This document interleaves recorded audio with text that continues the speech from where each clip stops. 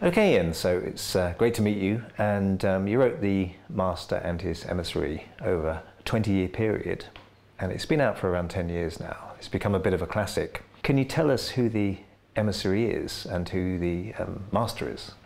Yes, before I do that, I'll just explain the story behind the image of the master and his emissary, which was a hint I found in Nietzsche um, about a wise spiritual master who looked after a community so well that it flourished, and as it flourished and grew, he realized he couldn't look after all the business of the community himself.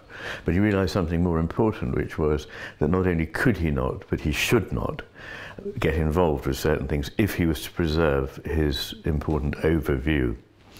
And so he delegated his brightest and best servant to go about and do some administrative work on his behalf. This servant was certainly bright, but not bright enough to know what it was he didn't know. And he thought he knew everything, and that the master probably knew very little.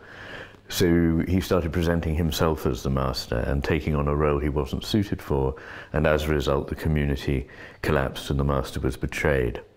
Now, the reason I found that very resonant for me was that I'd been looking into the difference between the two brain hemispheres, and it struck me that there was an analogy in that the right hemisphere, which traditionally in neuroscience has been thought to be the inferior or non dominant hemisphere, actually sees more, understands more, and is far more reliable than the left hemisphere. Mm.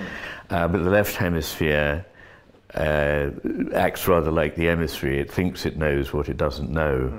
And therefore excludes the vision and the knowledge and the wisdom that would have come from allowing the uh, the master, the right hemisphere, to have its say. So that's how the that's how it works.